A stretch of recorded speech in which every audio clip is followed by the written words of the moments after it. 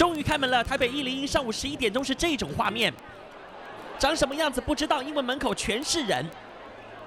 大厅两座手扶梯站满人，让维持秩序的保全很担心。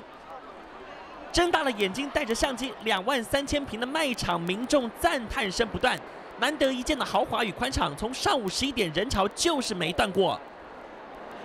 几家指标性的精品店没打折，照样是挤满人。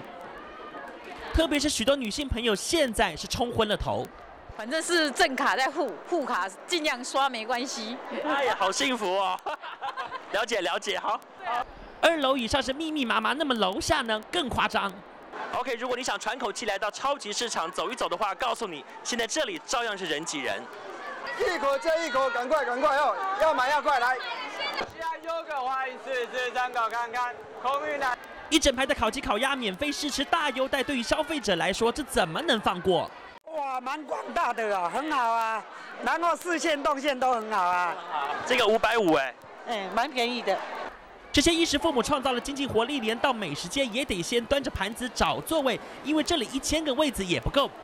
台北一零一开幕的第一天，保证超过百分之一百零一的新鲜话题。华新闻综合报道。